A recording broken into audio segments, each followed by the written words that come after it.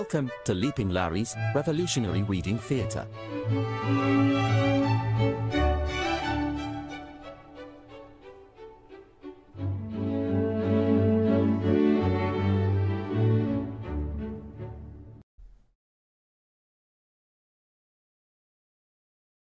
All right, we are doing the reading. Oh shit, oh shit.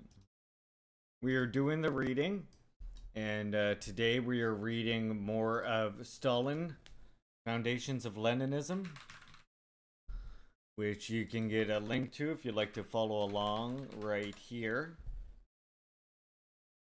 And we are on chapter 7 of this work. I would have been friends with whole lot Stalin. of commentary for this chapter.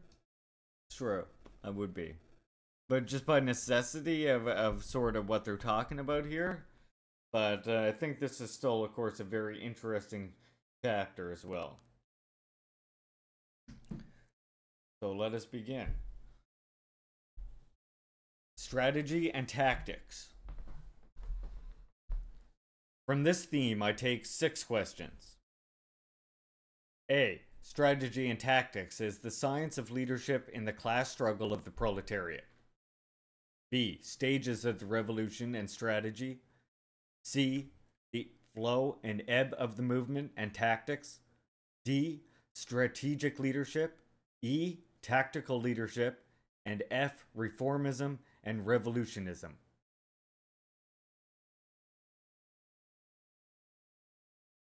Dude Quixote, welcome in, comrade. I hope you're well. 1. Strategy and tactics is the science of leadership in the class struggle of the proletariat. The period of the domination of the Second International was mainly a period of the reformation and training of the proletarian political armies under conditions of more or less peaceful development. It was the period of parliamentarism and the predominant form of the class struggle. Questions of great class conflicts, of preparing the proletariat for revolutionary clashes, of the means for achieving the dictatorship of the proletariat, did not seem to be on the order of the day at that time. The task was confined to utilizing all means of legal development for the purpose of forming and training the proletarian armies utilizing parliamentarism in conformity with the conditions under which the status of the proletariat remained and, as it seemed, had to remain that of an opposition. It scarcely needs proof that in such a period and with such a conception of the task of the proletariat, there could be either neither an integral strategy nor any elaborated tactics. There were fragmentary and detached ideas about tactics and strategy, but no tactics or strategy as such. The mortal sin of the Second International was not that it pursued at that time the tactics of utilizing parliamentary forms of struggle, but that it overestimated the importance of these forms, that it considered them virtually the only forms and that when the period of open revolutionary battle set in and the question of extra parliamentary form of struggle came to the fore, parties of the Second International turned their backs on these new tasks, refused to shoulder them. Only in the subsequent period, the period of direct action by the proletariat, the period of proletarian revolution, when the question of overthrowing the bourgeoisie became a question of immediate practical action. When the question of the reserves of the proletariat, strategy, became one of the most burning tac questions. When all forms of struggle and organization, parliamentary and extra parliamentary tactics, had quite clearly manifested themselves. Only in this period could an integral strategy and elaborated tactics for the struggle of the proletariat be worked out. It was precisely in this period that Lenin brought out into the light of day the brilliant ideas of Marx and Engels on tactics and strategy that had been suppressed by the opportunists of the Second International. But Lenin did not confine himself to restoring the particular tactical propositions of Marx and Engels. He developed them further and supplemented them with new ideas and propositions, combining them all into a system of rules and guiding principles for the leadership of the class struggle of the proletariat. Lenin's pamphlet, What is to be Done? Two Tactics Imperialism, the State and Revolution, the Proletarian Revolution, and the Renegade Kautsky, left wing communism, undoubtedly constitute priceless contributions to the general treasury of Marxism, to its revolutionary arsenal. Strategy and tactics of Leninism constitute the science of leadership in the revolutionary struggle of the proletariat. 2. The stages of revolution and strategy. Strategy is the determination of the direction of the main blow of the proletariat at a given stage of the revolution. The elaboration of a corresponding plan for the disposition of the revolutionary forces, main and secondary reserves. The fight to carry out this plan throughout the given stage of the revolution. Our revolution had already passed through two stages, and after the October Revolution, it entered a third one. Our strategy changed accordingly. First stage, 1903 to February 1917. Objective to overthrow Tsarism and completely wipe out the survivals of medievalism. The main force of the revolution, the proletariat, immediate reserves, the peasantry. Direction of the main blow? The isolation of the liberal monarchist bourgeoisie, which was striving to win over the peasantry and liquidate the revolution by compromise with Tsarism. Plan for the disposition of forces, alliance of the working class with the peasantry. The proletariat must carry to completion the democratic revolution by allying to itself the mass of the peasantry in order to crush by force the resistance of the autocracy and to paralyze the instability of the bourgeoisie. Lenin. Second stage March 1917 to October 1917. Objective to overthrow imperialism in Russia and to withdraw from the imperialist war. The main force of the revolution, the proletariat. Immediate reserves, the poor peasantry. The proletariat of neighboring countries as probable reserves. The protracted war and the crisis of imperialism is a favorable factor. Direction of the main blow isolation of the petty bourgeois Democrats, Mensheviks, and socialist revolutionaries, who were striving to win over the toiling masses of the peasantry and to put an end to the revolution by a compromise with imperialism. Plan for the disposition of forces alliance of the proletariat with the poor peasantry the proletariat must accomplish the socialist revolution by allying to itself the mass of the semi proletarian elements of the population in order to crush by force the resistance of the bourgeoisie and to paralyze the instability of the peasantry and the petty bourgeoisie. Lenin. Third stage began after the October Revolution. Objective to consolidate the dictatorship of the proletariat in one country, using it as a base for the defeat of imperialism in all countries. The revolution spreads beyond the confines of one country. The epoch of world revolution has begun. The main force of the revolution, the dictatorship of the proletariat in one country. The revolutionary movement of the proletariat in all countries. Main reserves, the semi proletarian, and the small peasant masses in the developed countries. The liberation movements of the colonies and dependent countries. Direction of the main blow. Isolation of the petty bourgeois Democrats. Isolation of the parties of the Second International, which constitute the main support of the policy of compromise with imperialism. Plan for the disposition of forces, alliance of the proletarian revolution with the liberation movement in the colonies and the dependent countries. Strategy deals with the main force of the revolution and the reserves, but it changes with the passing of the revolution from one stage to another, but remains basically unchanged throughout a given stage. 3. The flow and ebb of the movement and tactics. Tactics are the determination of the line of conduct of the proletariat in the comparatively short period of the flow or ebb of the movement, of the rise or decline of the revolution. The fight to carry out this line by means of replacing old forms of struggle and organization by new ones, old slogans by new ones, by convo- combining these forms, etc. Well, the object of strategy is to win the war against Tsarism, let us say, or against the bourgeoisie, to carry through the struggle against Tsarism or against the bourgeoisie to its end.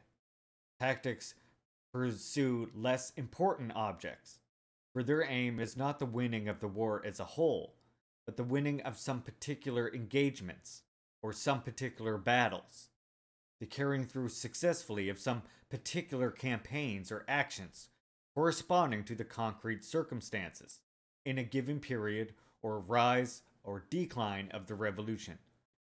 Tactics are part of strategy, subordinate to it and serving it. Tactics change according to flow and ebb.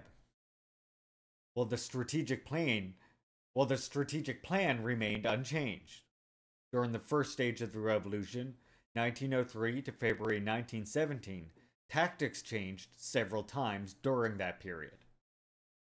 In the period from 1903 to 1905, the party pursued offensive tactics, for the tide of the revolution was rising. The movement was on the upgrade, and tactics had to proceed from this fact.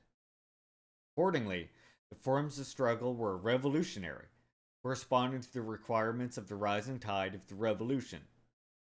Local political strikes, political demonstrations, the politi- general political strike, boycott of the Duma, uprising, revolutionary fighting slogans, such were the successive forms of struggle during that period. These changes in the forms of struggle were accomplished by corresponding changes in the forms of organization. Factory committees, revolutionary peasant committees, strike committees, Soviets of workers, deputies, a workers' party operating more or less openly. Such were the forms of organization during that period. In the period from 1907 to 1912, the party was compelled to resort to tactics of retreat. For we then experienced a decline in the revolutionary movement the ebb of the revolution, and tactics necessarily had to take this fact into consideration. The forms of struggle, as well as the forms of organization, changed accordingly. Instead of the boycott of the Duma, participation in the Duma. Instead of open revolutionary actions outside the Duma, actions and work in the Duma. Instead of general political strikes, partial economic strikes, or simply a lull in activities.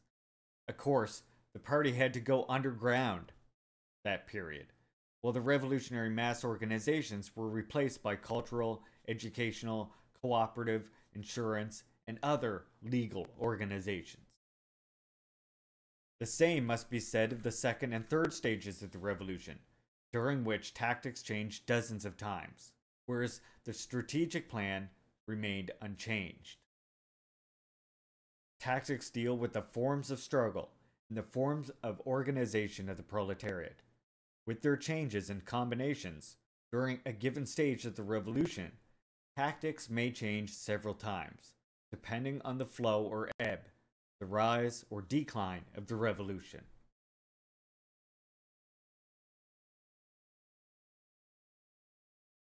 Four, strategic leadership. The reserves of the revolution can be direct A. A peasantry, or in general, the intermediate strata of the population within the country. B. The proletariat of neighboring countries. C. The revolutionary movement in the colonies and dependent countries. And D. the conquests and gains of the dictatorship of the proletariat, part of which the proletariat may give up temporarily, while retaining superiority of forces, in order to buy off a powerful enemy and gain a respite, which is exactly what the period of new economic period was. The period of market socialism represents this period in the revolution. D. The conquests and gains of the dictatorship of the proletariat. Sorry, part of the proletariat may give up temporarily while retaining superiority of forces in order to buy off a powerful enemy and gain a respite. That is what the NEP period was. And indirect. A. The contradictions and conflicts of the non proletarian classes within the country which can be utilized by the proletariat to weaken the enemy and to strengthen its own reserves. B. Contradictions, conflicts, and wars. The imperialist war, for instance, among the bourgeois states hostile to the proletarian state, which can be utilized by the proletariat in its offensive or in maneuvering in the event of a forced retreat.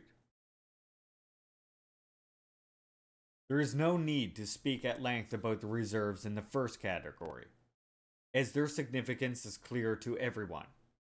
As for the reserves of the second category, whose significance is not clear, it must be said that sometimes they are of prime importance for the progress of revolution.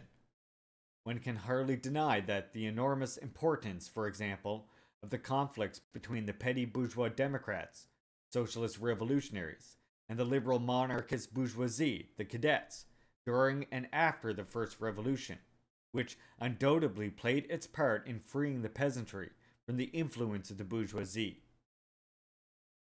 Still less reason is there for denying the colossal importance of the fact that the principal groups of imperialists were engaged in a deadly war during the period of the October Revolution, when the imperialists, engrossed in war among themselves, were unable to concentrate their forces against the young Soviet power.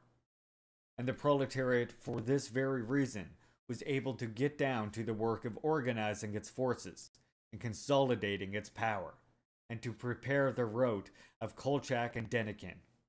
It must be presumed that now, when the contradictions among the imperialist groups are becoming more and more profound, and when a new war among them is becoming inevitable, reserves of this description will assume ever greater importance for the proletariat.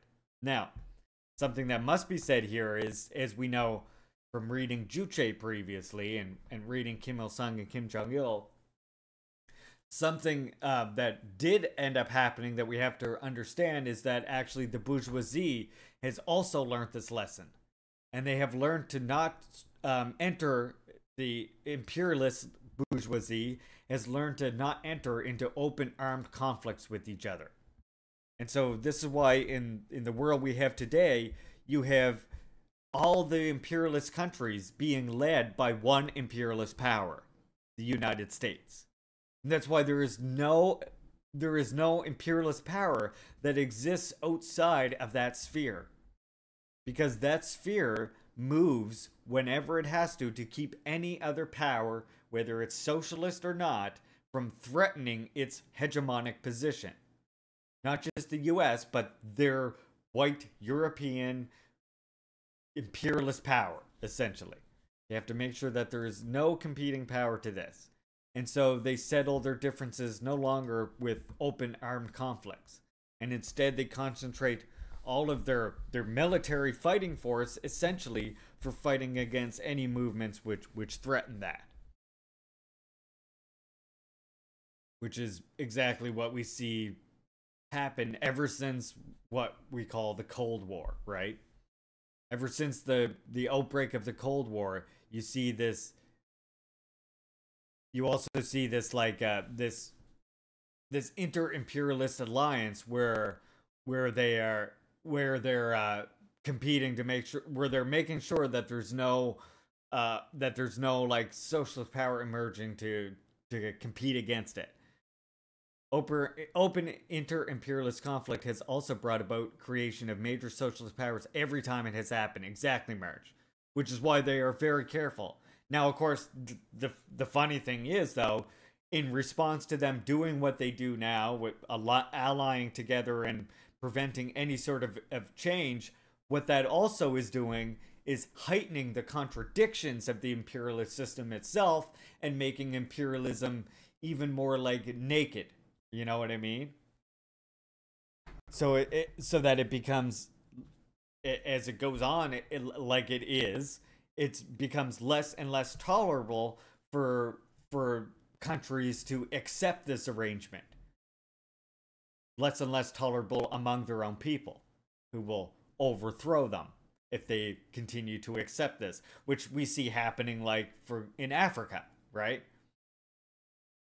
Like I I do think that definitely that the law that that Marx laid out that imperialism is digs its own grave still applies, right? It's just that they have learned their lesson. They thought they learned their lesson that okay, if we enter into open inter-imperialist uh, conflict with each other, we open the swing open the door for revolutions to succeed. And while that's true, also their reaction and allying together to stamp out any sort of independence movements, regardless of whether they're explicitly socialist or not, um, makes their their hypocrisy even stronger, right? And makes like what they're makes what they're doing, their evil deeds, even more noticeable, and even more like bare naked. So while they did try and respond, it still won't save the imperialist system if you will. And of course, we know that the response for imperialist powers, the the way to fight against this for an- anti-imperialist powers in general is to become closer and to ally together, right? To to draw closer in their ties and militancy and, and solidarity with each other, which is what we again see happening. What what they're calling what some people call the multipolar world.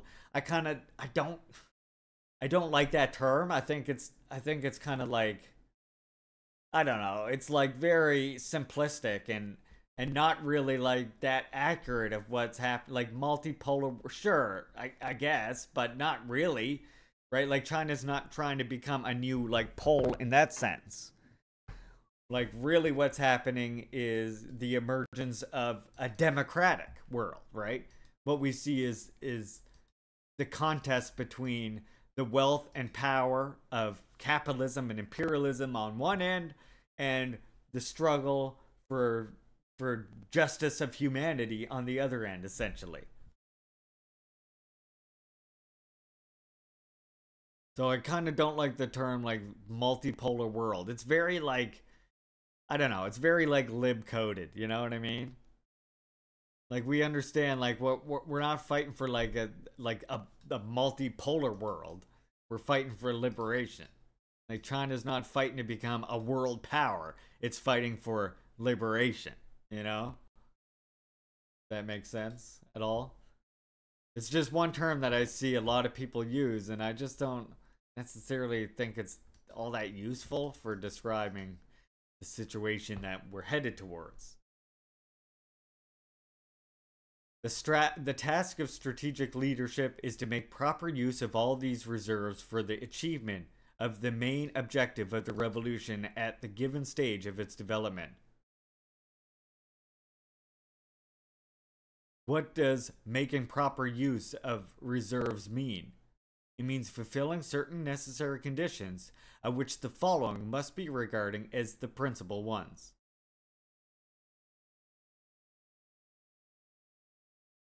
You think? I hope I'm making sense there. I just think multipolar is like it's like the way liberals describe the world during like USSR times again. And and it was like and I still thought it was kind of like a a, a, way to sort of like discredit what the USSR and what liberation movements actually do is way of saying like, look, you have you have China or USSR, whatever socialist country, influencing all of these other countries, right?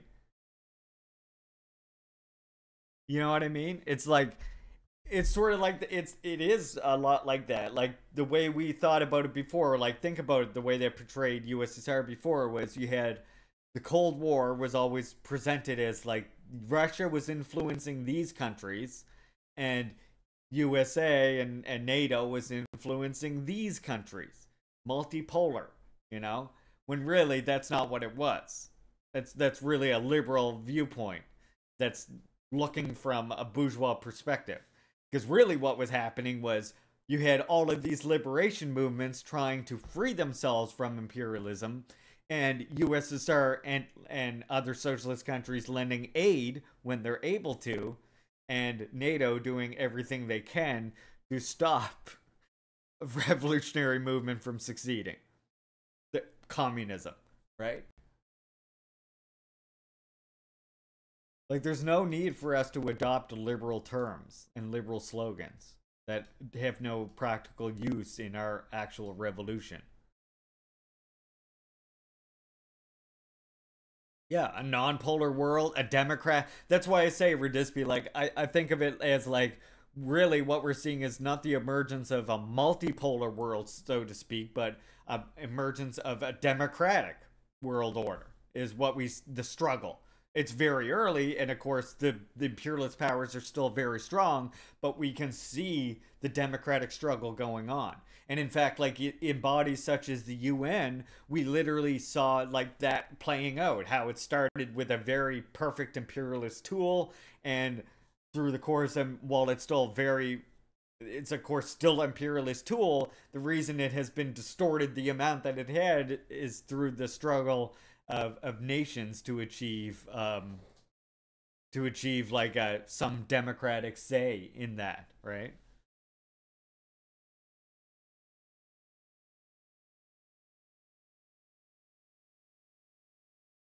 It's just whenever you think of polar uh, a polarity or a, a polar world, we're talking about like hegemony, right? And and I think that again that you're playing into like liberal sentiments of calling like like portraying socialist countries as just having the same the same um, goals and the same interests as capitalist countries. And again, while I always say that these countries are not perfect, they make they make mistakes. They they they're they're, they're they can make some serious crimes even, right? But the point is that they have a different set of interests that guides their development than capitalist countries do. And uh, because they are led by working masses, the morality guiding those countries does more align with their own morality. And socialists who like and communists who like are afraid of talking about morality confuse the fuck out of me. You know? Like I always see that. Like you're making a moral statement. Like yeah, we I kind of am, but like the thing the thing is people do have morals and and morality does have a class character. And and working class morality, you know, it's it's very simple and very well it's independence, it's survival of humanity, it's equality. We know what they are. We've been struggling for them for a long time. I really don't think we need more than one Poland. Exactly. Hey, Kay, welcome in, comrade. All right. I told you I wasn't going to rant much, and here I am, ranting. Firstly, the concentration of the main forces of the revolution at the enemy's most vulnerable spot at the decisive moment. When the revolution has already become ripe, when the offensive is going full steam ahead, when insurrection is knocking at the door and when bringing the reserves up to the vanguard is the decisive condition of success. The party's strategy during the period from April to October 1917 can be taken in, as an example of this. Manner of utilizing reserves. Excuse me. Undoubtedly, the enemy's most vulnerable spot at that time was the war.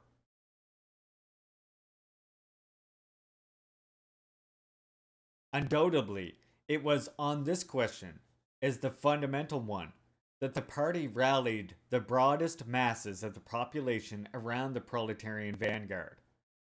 Party's strategy during that period was, while training the vanguard for street action by means of manifestations and demonstrations, to bring up the reserves up to the vanguard through the medium of Soviets in the rear and the soldiers' committees at the front. The outcome of the revolution has shown that the reserves were properly utilized. Here is what Lenin, paraphrasing the well known thesis of Marx and Engels on insurrection, says about this condition of the strategic utilization of the forces of revolution. 1. Never play with insurrection, but when beginning it, firmly realize that you must go to the end. 2. Concentrate a great superiority of forces at the decisive point, at the decisive moment. Otherwise, the enemy, who has the advantage of better preparation and organization, will destroy the insurgents. 3.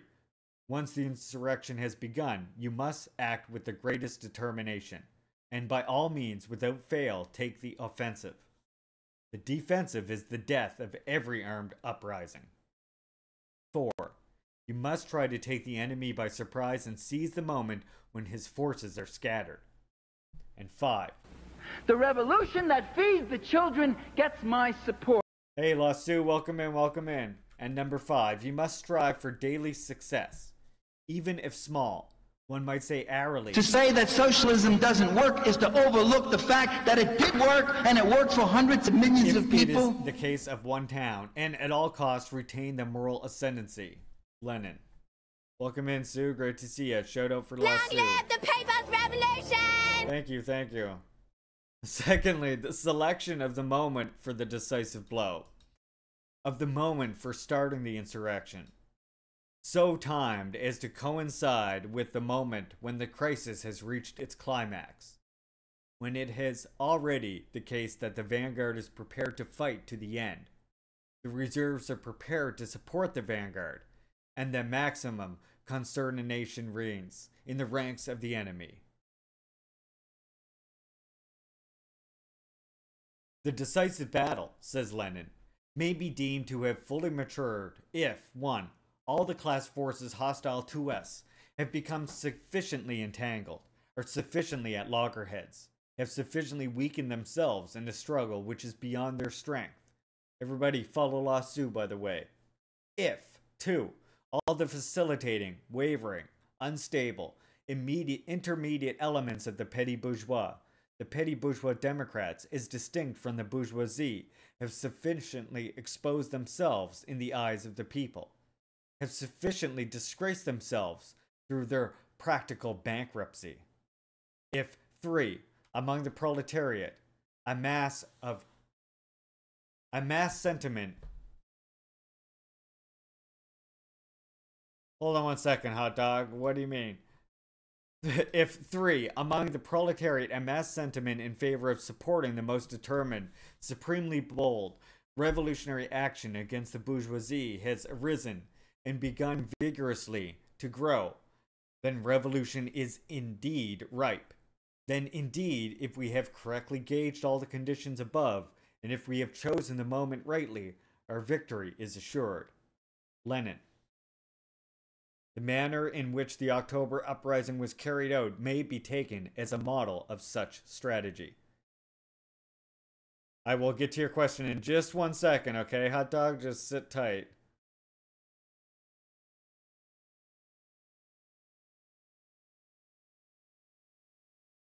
I mean, there are communist parties in the West, but they have no support at all. For example, Canada has one, but they have zero seats in Parliament. Yeah, there's a very good reason for that. I mean, uh, I will get to you. I will get to you. Just let me finish this section, okay? Just so I'm at like at a definite, a definite pause.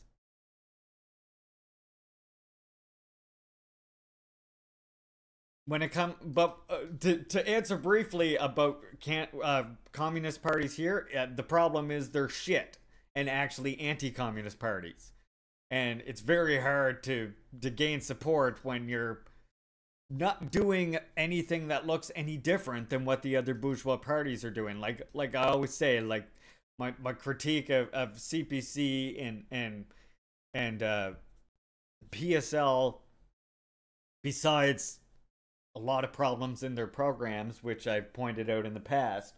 Uh, one of the major problems with them, of course, is that they they are stuck on just participating in like bourgeois parliamentarism a lot of times, especially the case for the Communist Party of Canada. And instead of like uh, building actual dual power as one would in in a revolutionary struggle, they essentially just put forward their goals and their program and expect people to just believe it and, and support that. And that's not really a strategy that has worked for socialism in the past, right?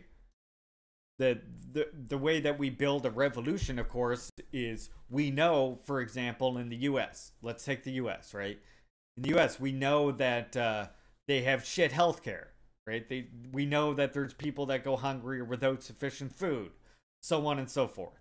So, what a communist party, what a real revolutionary party should do, is build forms of services like healthcare services that can meet people's needs who are not being sufficiently met by the existing state organs, and combine that with educating people about revolution and, and socialism.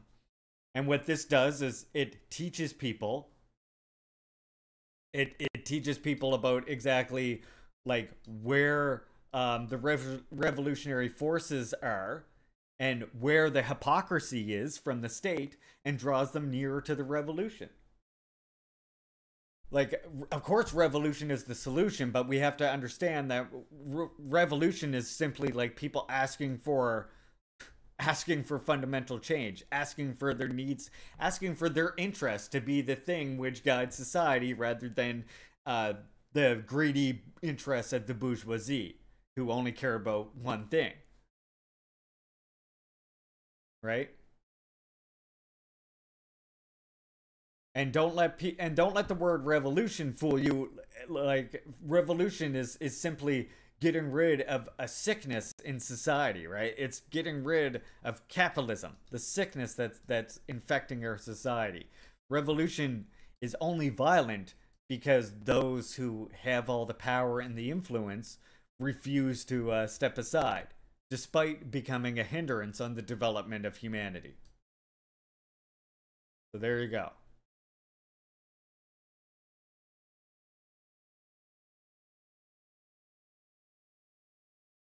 Oh, I will continue this read. And I think chat can help from there. If not, at the end of the read, we can continue talking. Failure to observe this condition leads to a dangerous error called loss of tempo, when the party lags behind the movement or runs far ahead of it, porting the danger of failure. An example of such loss of tempo is of how of how the moment for an uprising should be chosen may be seen in an attempt made by a section of our comrades to begin the uprising by arresting the Democratic Conference on September 1917. When wavering was still apparent in the Soviets, when the armies at the front were still at the crossroads, when the reserves had not yet been brought up to the vanguard. Yes, yes, yes, that's true. That is a you you are correct, hot dog, in saying that that is a very hard problem to solve. Most uh, a, a lot of working class people are indeed um, reactionary because they have been programmed to think that way by their schools, by their media, right? And that's why we understand that's why that we, we understand that what is needed is of course we that's why we believe in a vanguard. We, we need dedicated revolutionaries who can um, understand how to make a revolution happen without necessarily all of the masses being convinced of communism. That's not something that we're going to be able to do before the achievement of a socialist society. It sounds paradoxical, but it's not actually. And this is the mistake that the anarchists make, right? The, the mistake of anarchists is thinking that, oh, well, all we have to do is first convince everybody to become communist people, and then we'll have an anarchist society. No, we need state power in order to have the the necessary influence and the necessary um, the necessary power. We need the state to have the necessary power to re-educate people, because before having state power, we have the problem of again the the bourgeois state, which controls education, which controls the media, which constantly will reprogram and will constantly try to fool the proletariat. Will try to lead them down these reactionary alleys, right? So yeah, the the the uh, the question of transforming humanity comes to the fore not before the revolution, but during the revolution. And in every single place where re- revolution has succeeded, it wasn't because all the people became communist people. It's because the Communist Party was putting forward um, the the best program, as proven by their practice, was the only one serving the people in instances where where nobody else was, and so they gained large amounts of support. But that didn't mean that all the people were communist. And in fact, one failing of the USSR was a lack of uh, ideological education during the revolution, which is what led to confusion among their the people there. Instead of where instead of overthrowing the entire socialist system, they would have, you know, gotten rid of counter revolutionaries.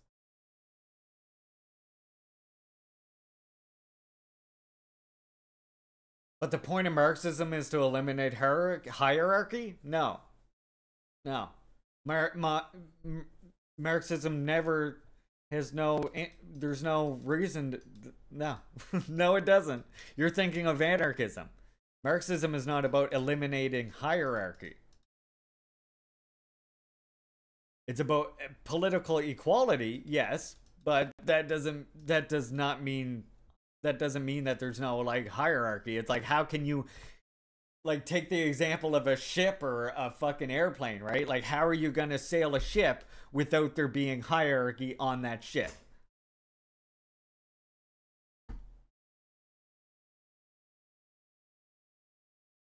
You know, you're going to you're going to have a whole bunch of captains. Nobody's going to be steering the ship in the proper direction. We're not for we're not against hierarchy and we're not against we're not against centralization. We're we're for the proper combination of democracy and centralism, and we also understand that uh, that democracy is also a form of a state, and we understand that the socialist state is not necessarily perfect because the revolution is is uh, not a dinner party. You know, it's a very serious matter, but so is capitalism and imperialism and it, the the pains of revolution are worth it to get rid of the the oppression that uh, imperialism brings us. And not only that, of course, we know that imperialism imperialism brings about the destruction of humanity if we allow it to continue. So what do we mean by the dictatorship of the proletariat? It seems like you're talking about a dictatorship of the Politburo. no, dictatorship of the Politburo. It's funny. That's a funny one. But no, no. Um, the the Politburo or the the parties, the party bureaus and stuff like this, they they didn't actually have legislative say, right? Like like uh, if you take uh, China or or DPRK today, the way the Communist Party leads is through ideological education by having those ideological means of reformation that I mentioned. But ultimately, the people who set all the law laws and the people who execute execute the laws are just the people. Like take the example of uh, DPRK, for example. It's not Kim Jong Un. It's not the party that sets laws, and it's not the party that executes any of the laws it's the Supreme People's Assembly that sets all the laws, all constitutional changes, so on and so forth. And it's the cabinet that implement that ex- executes them. There are separate bodies from the party because in any socialist society, every single political party is actually independent of the the state bodies. No, they didn't. On paper true, but they also had full control over the military, the police, etc. No, you're you were incorrect. Hmm.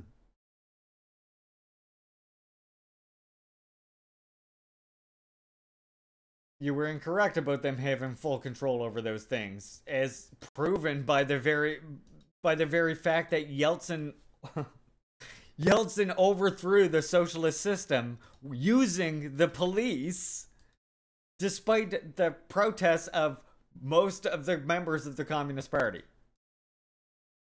Not to mention the people who literally were in the streets trying to fucking stop that from happening.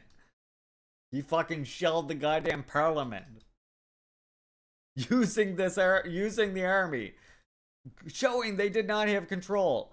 Not only that, the whole fucking the whole shit with Yezhov, I, I recommend like if you actually want to learn something, I I can't tell if you're trolling or not at this point.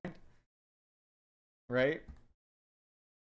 I can't really tell if you're trolling or not, but I will say that I Okay, but let's talk about before the dissolution of the USSR then. How about you have a look at this? I, I, I invite you to look at this one right here, which really provides some fucking solid arguments and evidence for the fact that what went on with what is known as the period of the mass repressions, the Great Terror between 1937 and 38, is also the result of the party not having control of, of the army. right? Well, of course you learn about you because you, like any other worker, is programmed with anti-communist narratives about USSR. Of course you've learned different things about it. I learned probably the same things you did, and then I had to unpro I had to relearn all of these things myself. Through studying this shit, right? I mean, Stalin himself tried to step down three, four fucking times. And each time he was refused. Because Stalin didn't have even absolute power in his own party.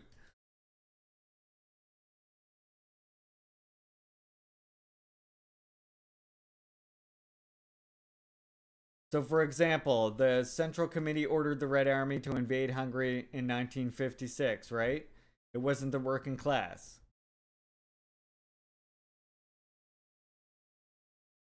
um Hungary you're talking about you're talking about an uprising of of petty bourgeois there was no invasion of hungary like what are you talking about there was petty bourgeois enemies trying to restore capitalism and so at the request of the people the red army came in that's what the red army did It wasn't a revolution. The Hungarian Revolution, as you call it, was a bunch of fucking petty bourgeois capitalists wanting the restoration of capitalism.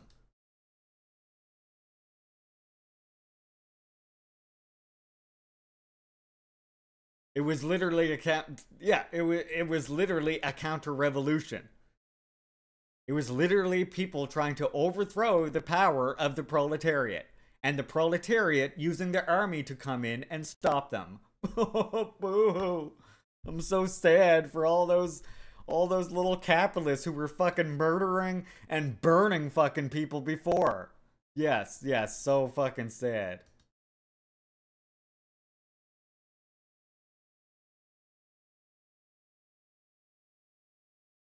No. You are you are incorrect.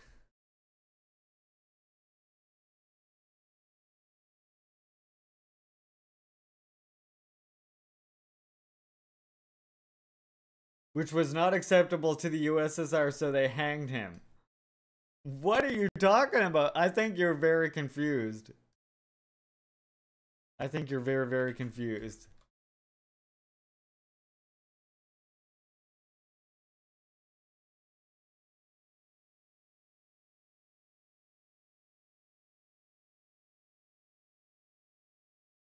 I'm gonna let chat continue with you because I do want to continue on with her reading. So I'll let chat continue if things just you keep it civil and I don't mind the conversation. Just if if you're not here to learn though, you will you will be blocked. Like if if you're here to if these if you're genuinely trying genuinely trying to learn, I have no problem with that. Just search I'm not searching that. I'm trying to read a fucking book. Did you miss that part? I've spent the last half hour now just talking to you in particular. That's an example. I'm trying to give you other examples. No, you're doing what a typical anti-communist does is you're pretending like you want to learn and you're just coming in listing things over and over again now. Like we can go through every specific event if you want, but you asked me a generalized question. And right now I'm not going to go through every specific fucking event like this with you. Uh, you know? Like at some point, you're going to have to accept that perhaps what you've been told about the USSR or the Hungarian Revolution by bourgeois mainstream media and the mainstream background assumptions is a lie. That might be a good sp- place to start. And the fact that you haven't even considered that with yourself is really not giving me a lot of confidence in you being here actually trying to learn. But that's just that's just my read so far.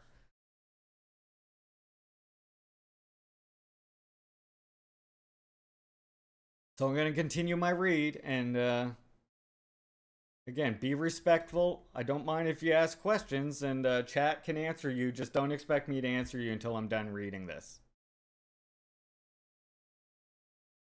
This is my stream and you're welcome here, but you have to follow my route, my well, I just told you they learned. Here, here, let me help you. Let me just help you, hot dog, real quick. Here's here's a good here's a let me show you a little thing that I think uh, really makes it nice and clear for you, okay?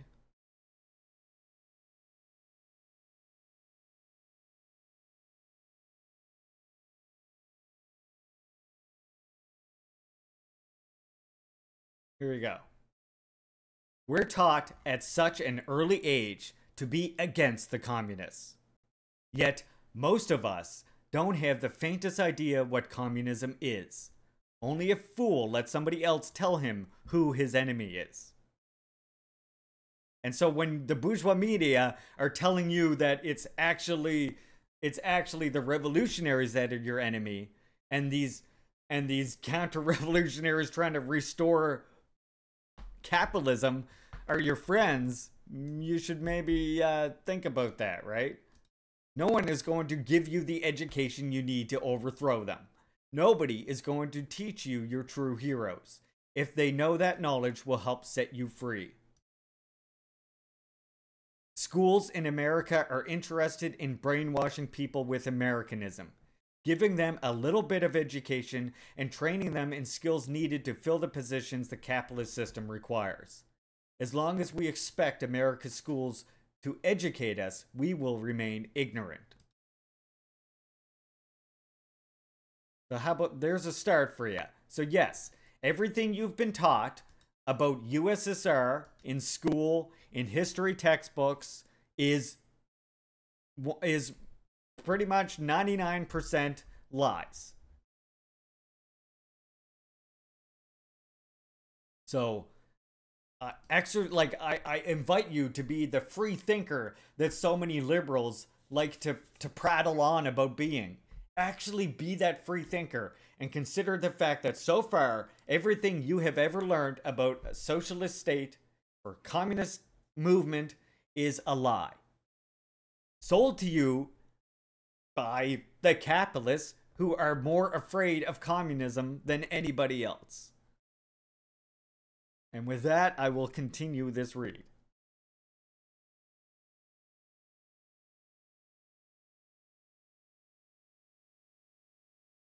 A lifetime of study, hot dog. A lifetime of study has taught me that.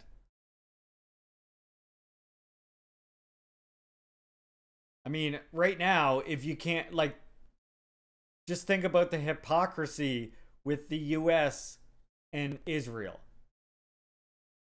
Look at the fucking Soviet archives when they open. When CI when we found documents and shit where it's the CIA admits that people in the USSR had similar calorie intake but better nutrition than people in the States. There's countless examples. What the fuck? Anyway, let me continue. Thirdly, undeviating pursuit of the course adopted, no matter what difficulties and complications are encountered on the road towards the goal. This is necessary in order that the vanguard may not lose sight of the main goal of the struggle, and that the masses may not stray from the road while marching towards that goal and striving to rally around the vanguard. Failure to observe this condition leads to a grave error, well known to sailors as losing one's bearing. As an example of this losing one's bearing, we may take the erroneous conduct of our party when, immediately after the Democratic Conference, it adopted a resolution to participate in the pre parliament.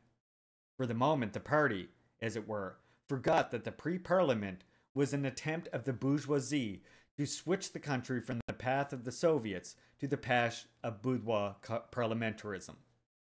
And the party, that the party's participation in such a party might result in mixing everything up and confusing the workers and peasants who were waging a revolutionary struggle under the slogan all power to the Soviets. This mistake was rectified by the withdrawal of the Bolsheviks from the parliament. Fourthly, maneuvering the reserves with a view to effecting a proper retreat when the enemy is strong, when retreat is inevitable. When to accept battle force upon us by the enemy is obviously disadvantageous. When, with the given relation of forces, retreat becomes the only way to escape a blow against the vanguard and to retain the reserves for the latter. The revolutionary parties, says Lenin, must complete their education. They must learn to attack. Now, they have to realize that this knowledge must be supplemented with the knowledge how to retreat properly. They have to realize, and the revolutionary class is taught to realize it, by their, its own bitter experience that victory is impossible unless they have learned both how to attack and how to retreat properly. Lenin. The object of this strategy is to gain time, to disrupt the enemy, and to accumulate forces in order to later assume the offensive. The signing of the Brest Peace may be taken as a model of this strategy for it enabled the party to gain time, to take advantage of the conflicts in the camp of the imperialists, to disrupt the forces of the enemy, to retain the support of the peasantry, and to accumulate forces in preparation for the offensive against Kolchak and Denikin. In concluding a separate peace, said Lenin at that time, we'd free ourselves as much as possible, at the present moment, from both warring imperialist groups We'd take advantage of their mutual enmity and warfare, which hinder them from making a deal against us, and for a certain period have our hands free to advance and to consolidate the socialist revolution. Lenin. Now, even the biggest fool, said Lenin, three years after the Brest Peace, can see that the Brest Peace was a concession that strengthened us and broke up the forces of international imperialism. Such are the principal conditions which ensure correct strategic leadership.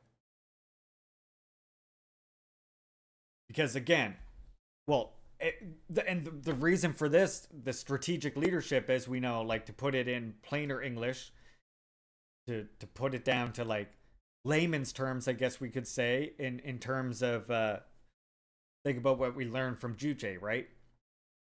That the way the working class revolution leads is not by orders and decrees. That the only way the working class can, the only way the working, the Revolutionary Party can lead the working class is uh, by first winning their support. And that it has to maintain their support all throughout the revolution. And the moment it loses the support of the people is the moment the revolution fails. And what what makes any let, uh, let me ask you something from the other day. What makes the people, what makes the population obliged to fulfill and and to follow the Revolutionary Party? Does anybody know? Does anybody know what obliges the masses and the, the, the general population, what obliges them to follow the Revolutionary Party?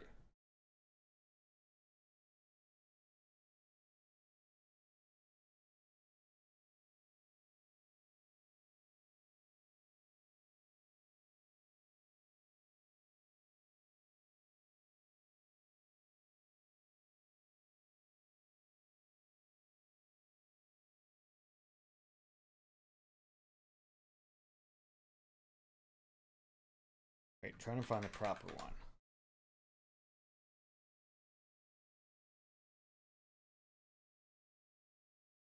The thing that obliges people to follow and support the party is trust. Because trust is the spiritual source of love and obligation. Remember, it's the the the capitalist party can lead by orders and decrees because it has capital.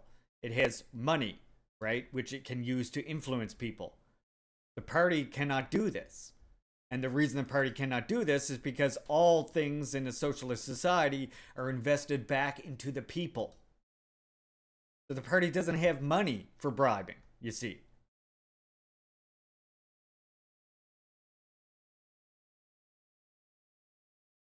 So the way the party becomes a leader is by gaining the trust of the masses. The way the party maintains its position as the leader of the revolution is is is by maintaining their trust and consolidating their trust.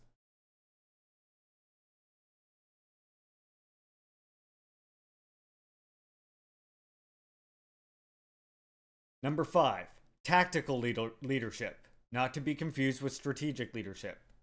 Tactical leadership is part of strategic leadership. It's subordinated to the tasks and the requirements of the latter. Remember, just like the difference between tactics and strategy. The task of tactical leadership is to master all the forms of struggle and organize of the proletariat, and to ensure that they are used properly so as to achieve with the To say that socialism doesn't work is to overlook the fact that it did work and it worked for hundreds of millions of people. Thank you, Sue. Exactly. Parenti is right. The maximum results necessary to produce to prepare the strategic successes. What is meant by proper use of the forms of struggle and organization of the proletariat? It means fulfilling certain necessary conditions, of which the following must be regarded as the principal ones. Firstly, to put in the forefront precisely those forms of struggle and organization which are best suited to the conditions prevailing during the flow and ebb of the movement at a given moment, and which therefore can facilitate and ensure the bringing of the masses to revolutionary positions, and bringing of the millions to the revolutionary front, and their disposition at the revolutionary front. The point here is not that the vanguard should realize the impossibility of preserving the old regime and the inevitability of its overthrow. The point is that the masses, the million, should understand this inevitability and display their readiness to support the vanguard. The, but the masses can only understand this from their own experience. The task of is to enable the vast masses to realize from their own experience the inevitable. Uh, who do you think we're reading right now, hot dog?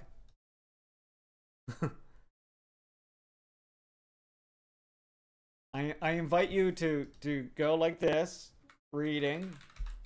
Oh wait, reading, and click on that work that we're reading right now. Okay.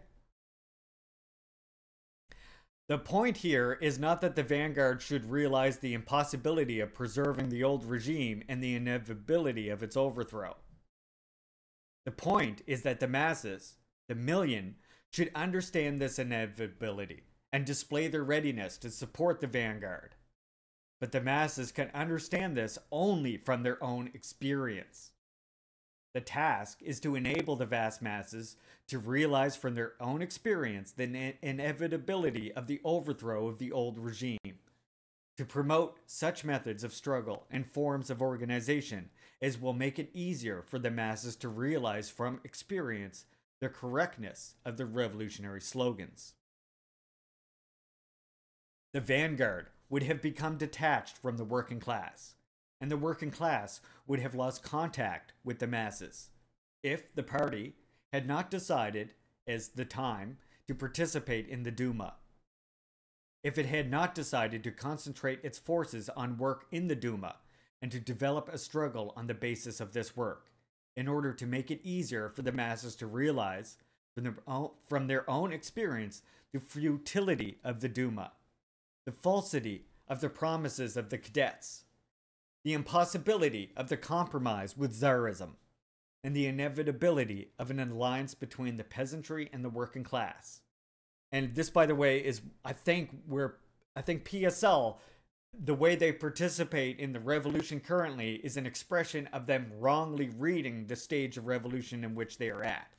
Um, which I think is really like highlighted by we had we had the U.S. had recent elections, uh, uh, recent elections where the turnout was extremely extremely low with huge amounts of people doing write-ins for like non-committed and stuff like this and you know and still it's like they still like they still have the same strategy regarding uh regarding the elections as they did 10 years ago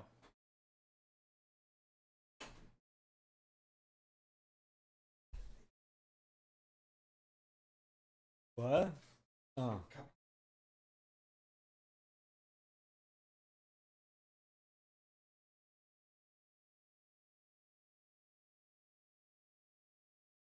Yep, that's that's enough of that.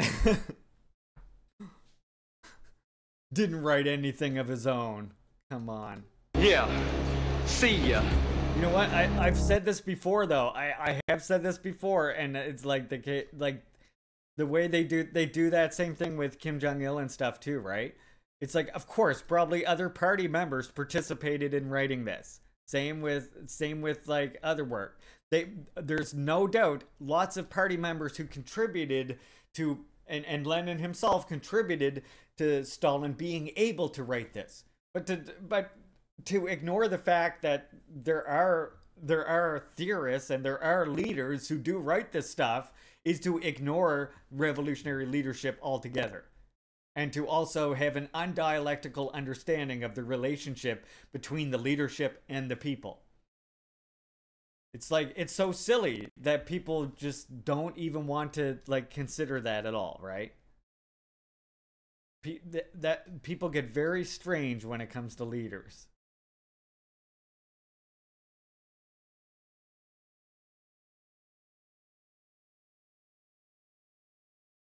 Had the masses not gained their experience during that period of the Duma, the exposure of the cadets and the hegemony of the proletariat would have been impossible.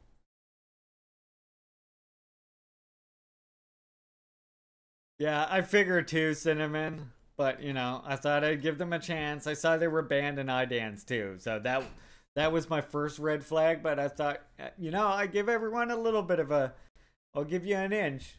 But when you try and take a mile, that's when you get banned. the danger of the Otsovist tactics was that they threatened to detach the vanguard from the millions of its reserves.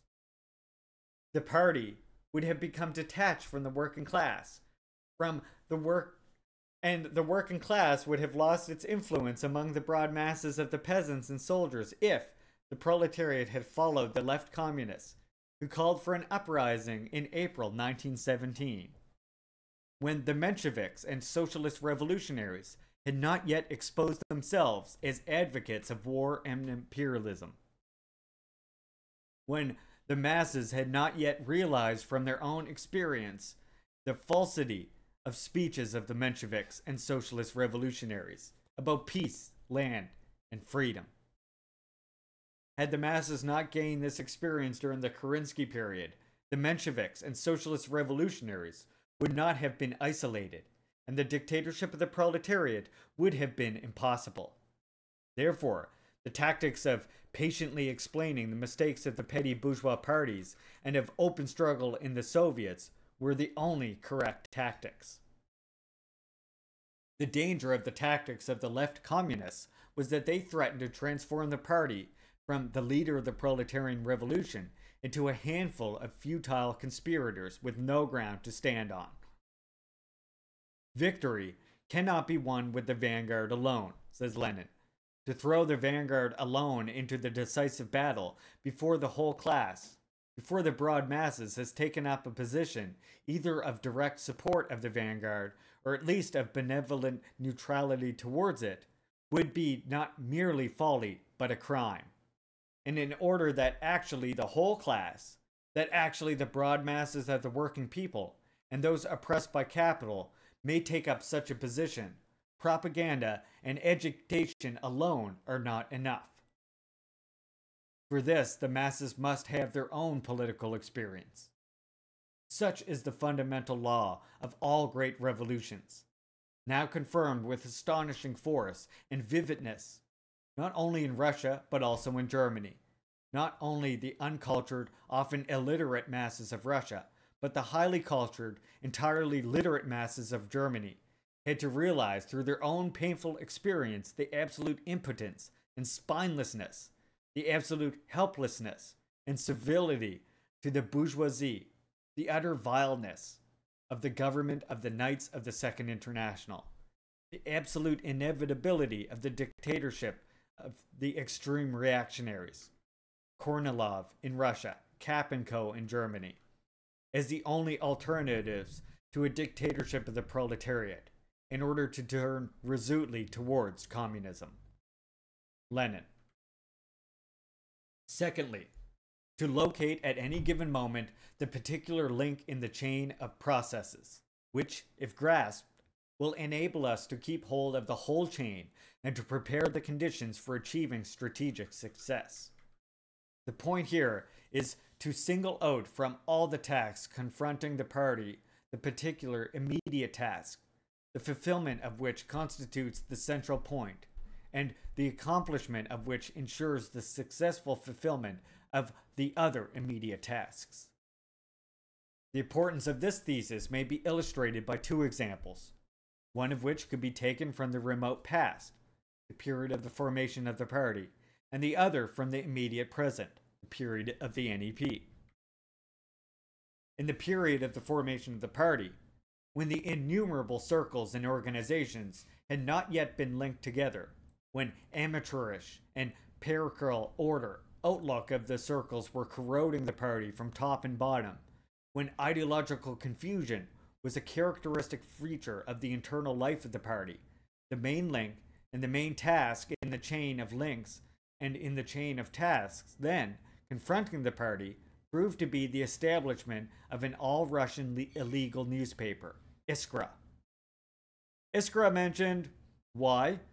Because, under the conditions then prevailing, only by means of an all Russian illegal newspaper was it possible to create a solid core of the party, capable to create a, a solid core of the party capable of uniting the innumerable circles and organizations into one whole, to prepare the conditions for ideological and tactical unity, and thus to build the foundations for the formation of a real party. During the period of transition from war to economic construction, when industry was vegetating in the grip of disruption and agriculture was suffering from a shortage of urban manufactured goods, when the establishment of a bond between state industry and peasant economy became the fundamental condition for successful socialist construction. In that period, it turned out that the main link in the chain of processes, the main task among a number of tasks, was to develop trade. Why? Because under the conditions of the NEP, the bond between industry and peasant economy cannot be established except through trade. Because under the conditions of the NEP, production without sale is fatal for industry.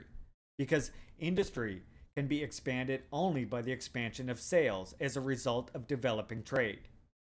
Because only after we have consolidated our position in the sphere of trade only after we have secured control of trade, only after we have secured this link, can there be hope, can there be nay hope of linking industry with the peasant markets successfully fulfilling the other immediate tasks, in order to create the conditions for building the foundations of socialist economy.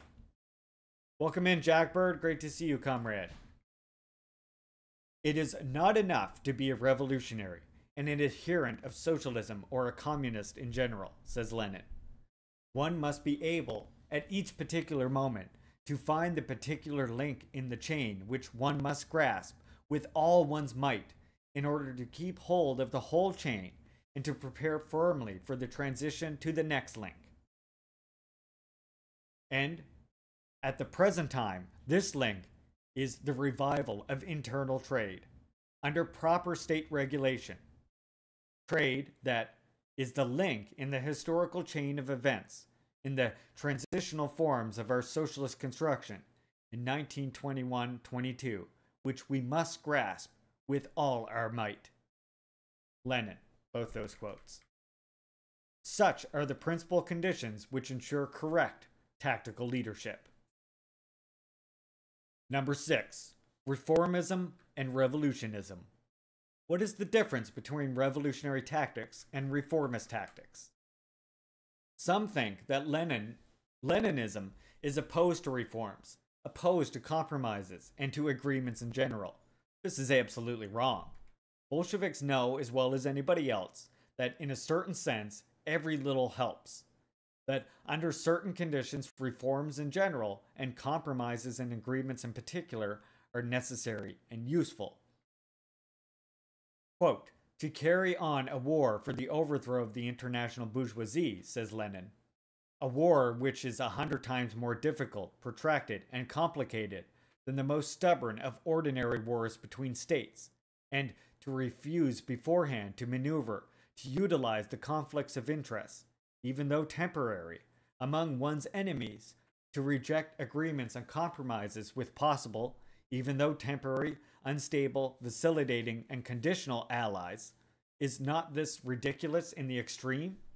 Is it not as though, when making a difficult ascent, of the unexplored and hitherto inaccessible mountain, we were to refuse beforehand ever to move in zigzags, ever to retrace our steps, ever to abandon the course once selected, and to try others. Lenin.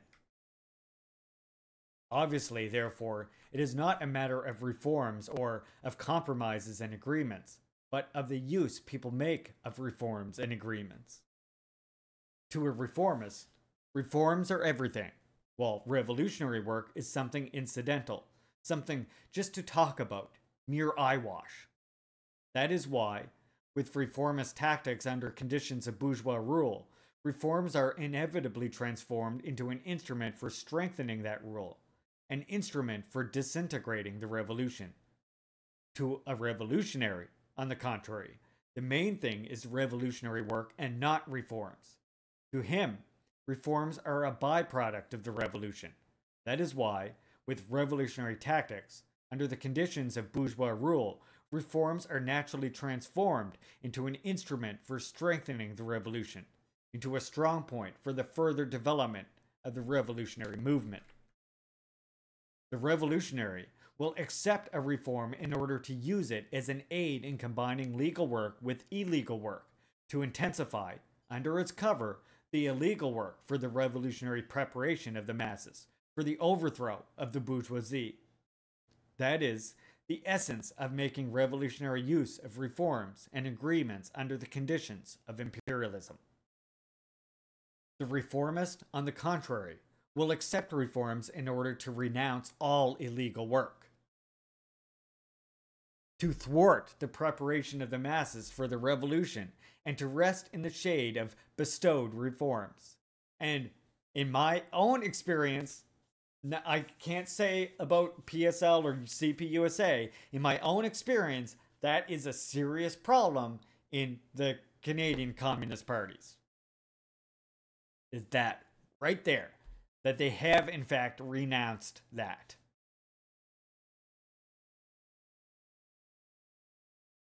That is the essence of reformist tactics. Such is the position in regard to reforms and agreements under the conditions of imperialism. The situation changes somewhat, however, after the overthrow of imperialism. under the dictatorship of the proletariat.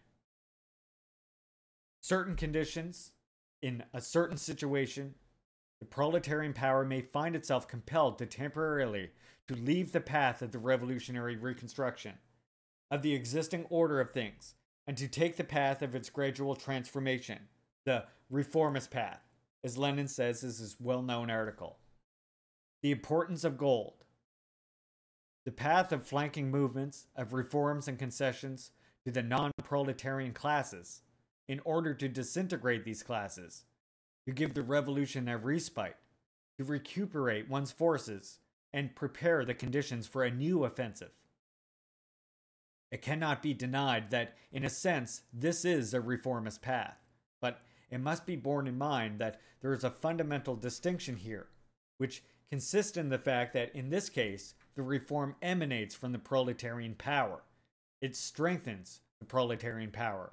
It procures for it a necessary respite, for its purpose is to disintegrate, not the revolution, but the non proletarian classes. Under such conditions, a reform is thus transformed into its opposite. The proletarian power is able to adopt such a policy because, and only because, the sweep of the revolution in the preceding period was great enough and therefore provided a sufficiently wide expanse within which to retreat, substituting for offensive tactics the tactics of temporary retreat, the tactics of flanking movements. Thus, while formerly under bourgeois rule, reforms were a byproduct of revolution. Now, under the dictatorship of the proletariat, the source of reforms is the revolutionary gains of the proletariat. The reserves accumulated in the hands of the proletariat, consisting of these gains. Only Marxism, says Lenin, has precisely and correctly defined the relation of reforms to revolution. However, Marx, Marx, I don't know what that name was I just said. However, Marx, not Mox, was able to see was able to see this relation only from one aspect, namely under the conditions preceding the first, to any extent permanent and lasting victory of the proletariat, if only in a single country. Under those conditions, the basis of the proper relations was reforms are a byproduct of the revolutionary class struggle of the proletariat. After the victory of the proletariat, if only in a single country, something new enters into the relation between reforms and re- revolution. In principle, it is the same as before, but a change in form takes place, which Marx himself could not foresee, but which can be appreciated only on the basis of philosophy and politics of Marxism. After the victory, while still remaining a byproduct on an international scale, they, i.e., reforms, are, in addition, for the country in which victory has been achieved, a necessary and legitimate respite in those cases when, after the utmost exertion of effort, it becomes obvious that sufficient strength is lacking for the revolutionary accomplishment of this or that transition. Victory creates such a reserve of strength that it is possible to hold out even in a forced retreat, to hold out both materially and morally. Lenin. And there you have it. That's our chapter. Boom! Chapter 7. Done.